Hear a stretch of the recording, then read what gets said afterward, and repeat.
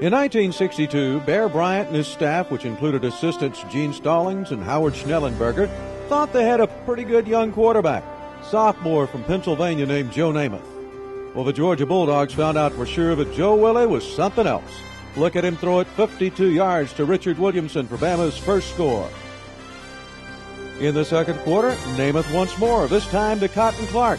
Bama was up 15 to nothing.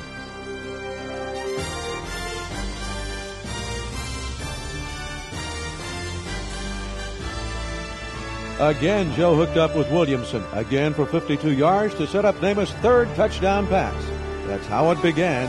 An incredible career for Joe Namath, an incredible win for the Alabama Crimson Tide. 35 to nothing over the Georgia Bulldogs.